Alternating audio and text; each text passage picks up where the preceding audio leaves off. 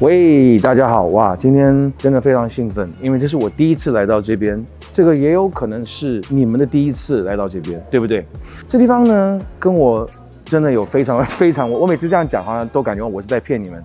可是这个地方跟我真的是非常有关系，对，因为它是台北流行音乐中心。然后呢，我们这边来到的其实是它的一个展馆的部分，它的文化馆。那这里面有很多的一些华语音乐的一些流行史，对，看看有没有一些东西是你们特别喜欢的，你们特别有感兴趣的，看看我有没有在这个音乐音乐历史里面，我有没有一点点一点点小小的出现。对我自己其实真的也很兴奋，因为这是我第一次来到这边。好的，你现在看到。我我为什么要戴个 我演唱会用的时候的耳机呢？我讲话的时候都觉得好怪，哦好像我是要开演唱会吗？这边的很特别，你们看起来你们会只是啊，只觉得好像只是一个不锈钢的一个金鱼，错了。其实它的重点是在于有一位很有名的一位设计师叫 Akibo，他那个时候设计了非常非常多的一些唱片的专辑的封面，非常有趣。你在上面可以看到很多他设计的的艺人，包括他也有帮我设计我的，好像是两。第一张吗？第哦，就第一张专辑，OK。所以我的名字不在上面，就这个原因。左边一进来，第一个看到的就是这一面墙，哇，一眼看不完啊！你看，这就是一个卡带的墙。我相信在这个上面的几百个卡带里面，其实我相信我应该至少有一个一百张。还看，刚刚随便一看就看到，你看到没有？周宝源可以算是我非常早期在做，我还没有做 LA Boys 的时候，我就有做，我就有做。周宝源，就就是这一张，我上面就有参与到。对，那时候我很小了，七八岁吧。对对对。为为什么有人笑？而且是我们自己公司的人笑。然后讲到这个所谓的这种卡带呢，我们那个时候，我最近因为我在看一些关于 hip hop 嘻哈这一些纪录片，他们就在讲说，比如说早期的 Dr. Dre。就是我们现在这个 Beats 耳机的这个这个的这个老板，他那个时候呢，他一开始说他是一个 DJ，然后他就会做一些什么叫 mix tape，那个时候也就是用 cassette 用卡带去做的。好了，不要再看了，看太多有时候心里面会觉得 long long time ago，follow me please。这个电梯让我觉得好像我要去 Costco，因为超大，对它超大的，哇，你看一进来。就看到这个唱片、唱盘这种感觉，所以它很多的一些巧思在这个里面的设计。然后呢，我们现在要来进入一个哦，台北圆环大道城。哎，这个不是我们之前就有介绍过的大道城吗？你看以前圆环的这个这种文化其实是很特别的。比如说我们在北京也有很多这个环嘛，几环几环的。啊，那在欧洲其实也是有，比如说在意大利也是有这种环呀环呀环的，这种环的这样子的一种城市的一种都市规划，其实真的很非常非常特别的，对，都是一些这个这个当然是在我我的应该是在我父母亲他们的小时候，所以如果下次我觉得不妨，如果你们可能是来看一些比较现代的音乐，不妨带这个伯父伯母也可以来看一下，可能他们也很很会有感觉。然后哇，我现在觉得好像我走入一个古董古玩的一个店。你看，哎呦，哎呦，阿妹，哇，张惠妹，以这真的，你看在这边有好多的，真的好多的一些古董。哎，这这这是我，这是我母亲吗？我还以为我看到我娘在里面了。对，因为我妈妈以以前其实也是有演电影的，从这个京剧到了这个大荧幕，哇，来这边觉得好像有一种时空。的那种 time machine 的那种时空穿越的感觉，真的好特别。你看，这边有这种以前的这种小的 cassette，这些其实其实我们我们家里都有。对，然后你看，刚刚我们看到阿妹那个应该是五等奖吧？是不是？那时候应该是很早期的，在台湾一个节目叫五等奖，五个灯你就可以坐上那个宝座，一个灯、两个灯、三个灯。哇，这边就是以前的电影院看电影的时候，上面你看，真的就是这种。今天不回家，哎，对对对，但是我的那首歌并不是因为这部电影，真的真的完全没有关系哦。你们不要以为我是因为这个电影，我还没有那么有文化。我那时候写这首歌的时候，应该是因为可能我很早期第一次去上海的时候，我看到上海那么的繁华，那么的漂亮，我就想说哇，在上海这样子的一个大都会里面会很容易迷失，然后会好像很想要留在这里。不想回家，所以那个时候就有个今天不回家啊，来买张票吧。以前买票了，买完票了之后，那个票上面还要盖一个章，表示你有付钱，对，paid。好，我们现在现在要来看一下今天不回家。哦，哦呦，这边是一个镜子，会吓到哎。对，看到自己，所以这这个这个算是一个让你去体验一个车站的感，一个在在一个火车里面的感觉。然后这里面有很多的一些关于车站啊、火车的一些歌曲。小时候我们，比如说在这个列车行进的时候呢，我们就故意不要不拉这个，因为我们要耍帅，然后结果跌倒，对，要休息一下。那现在谁的歌？哦，林翔哎，林翔应该算是我刚刚回，我刚刚开始做音乐的时候吧。那时候我当然那个时候还算是幕后，但还没有成名。那个时候林翔就已经非常厉害了。然后结果林林翔后面他当然有有好几个很重要的一些 hits hit song，一些很重要的歌。但是结果最后呢，哎，他选择了去做 DJ，很特别。对，所以有时候我们你看一个音乐人他选择的路。他不见得一定是想要做流行音乐，虽然他一开始他可能是从流行音乐起家的，或者他他是因为一炮而红，也有一些音乐人可能他是本来就比较是 underground 做一些地下音乐的，哎，可是无意间他突然做出一首歌中了，大众大红，哎，突然就变成流行，然后有一些可能是流行，哎，又想要做一些比较 underground 的东西，对。所以我们的火车现在快到了。哇，这个火车很特别，又有风扇又有冷气，好特别哦。好，我们到了，我们现在去我们的下一个 stop，下一站是哪里？哇哦，你看中国广播公司，这个有多酷啊！我们那个时候就叫简称叫中广。哇，太特别了，太特别了！哇，陶小青，你看到没有？我姑姑哎，不是，这只是我们同姓。陶小青也是一个在台湾的这个音乐史上是一个很重要的一个音乐人物，对推广推广这个音乐的。七几年，然后那个时候的民歌民谣真的是。虽然我爸不是做民歌的，不是做民谣的，但是呢，我爸那个时候其实跟很多的一些做民歌民谣的一些音乐人，包括这个吴楚楚老师啦、王梦玲老师啦，然后还有啊，真的很多。我等下可能看一下，我大概就会知道。对对对，你看这边一一的都是经典。马宜中，哇，你知道马宜中是个 MV 导演吗？对我等下跟你讲，他拍了我的哪一支 MV 啊？蔡琴，蔡琴姐，蔡姐。其实我跟他们，我记得我有一次跟他们都一起坐在一个小的那种小巴上面，不知道是要去哪里。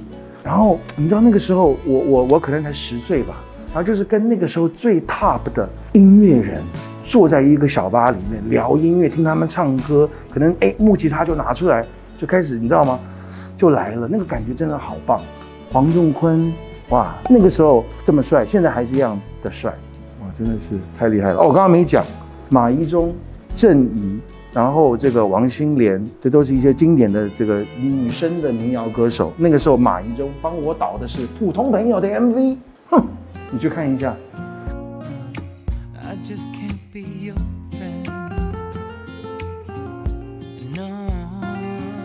太酷了，和木吉他，哎，这不就是李宗盛大哥吗？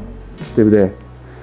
其实很真的，这真的很有趣，哇，啊，听到黑色幽默，杰伦这张专辑也是不得了。你看五月天，然后阿妹那个时候，哇，宋岳庭哎，哇，Life Struggle，现在听还是觉得很厉害。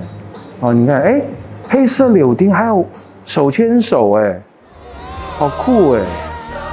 其实那个时候手牵手只是。一首单曲，为了那个时候的 SARS，所以我觉得现在看到这个特别有感觉。现在我们还是在 COVID 当中，对，好，我们现在要走出来看一下外面。其实这个区呢，你会发现这个区其实是一个蛮新的一个区。你可以看到它还未完成的很多的一些建设啊。这边有一个很特别的一个，这边是北流的那个表演厅，我们下次应该要来这边参观一下，或者是演出。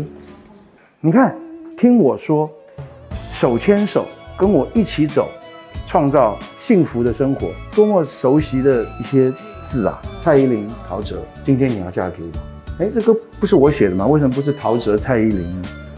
啊，等下跟他们馆长给他处理一下，改一下。这边其实这个感觉，这样看出去真的是很特别，有一些很旧的这种铁路，又有一些这么的现代。跟音乐有关系的一个建筑物，然后有山，然后还有一些新的大楼。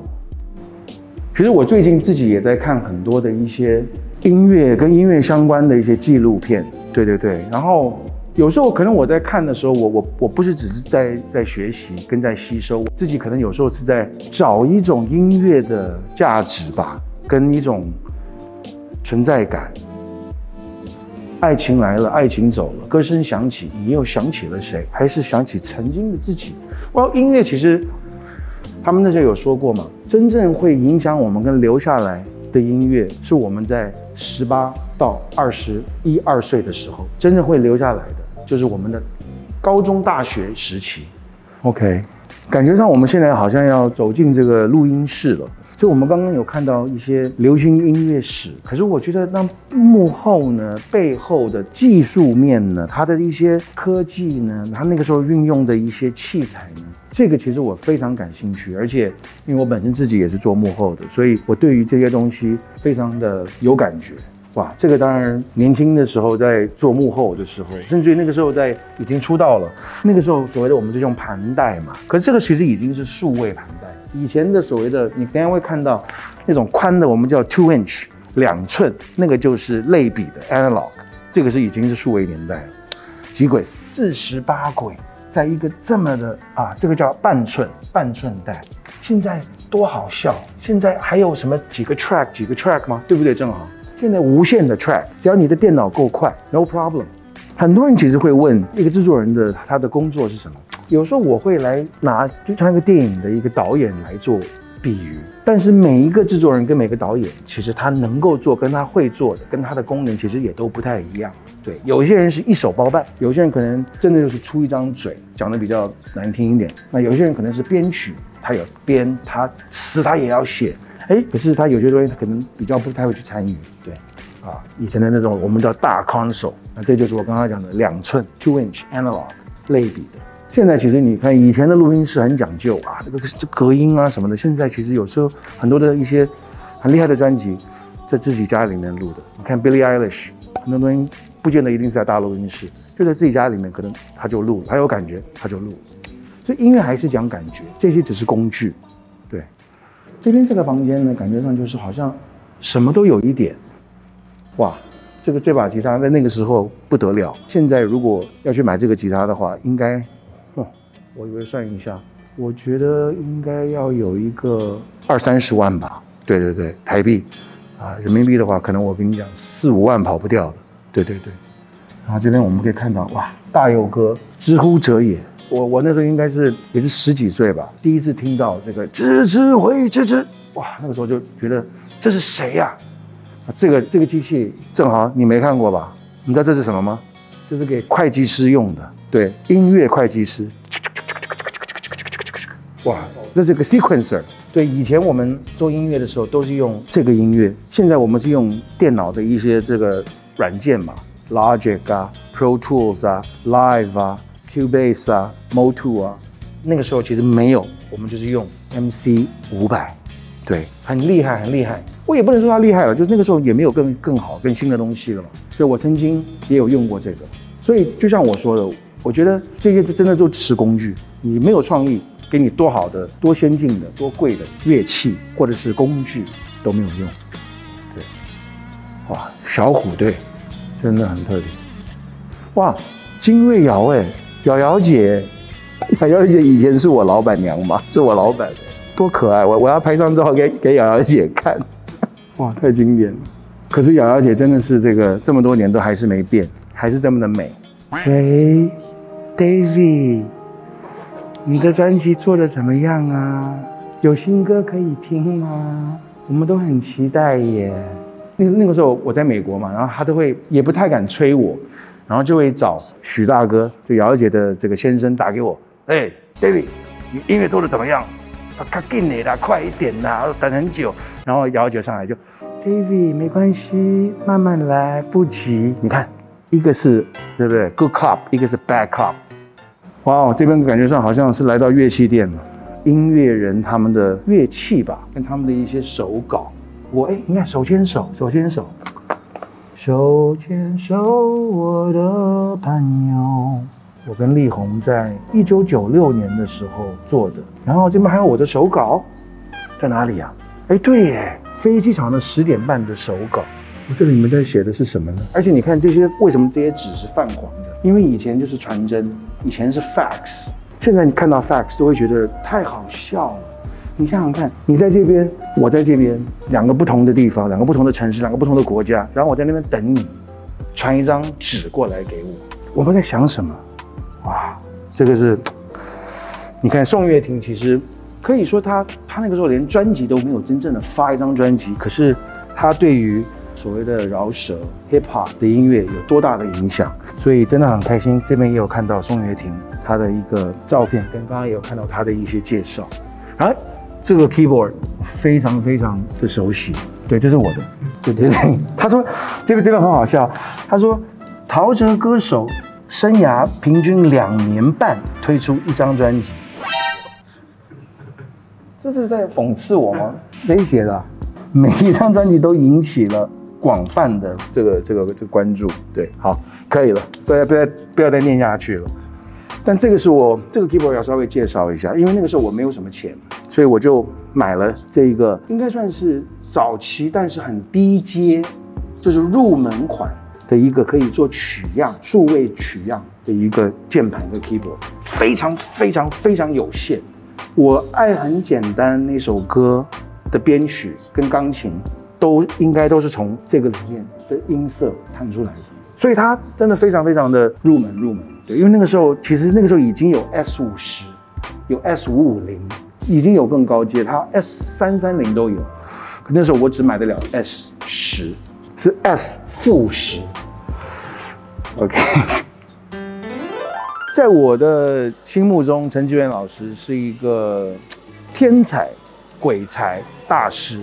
我今天看到有这个这一个展，我真的觉得很很感动，因为我觉得他其实是一个非常非常幕后的一个音乐人，很多人并不知道他是谁，并不认识他。你看，所以这些你们都熟悉的歌曲，都是他的金手 （Golden Hand） 去捏造出来。那他到底是做什么呢？他其实是一个编曲很厉害的键盘手，然后。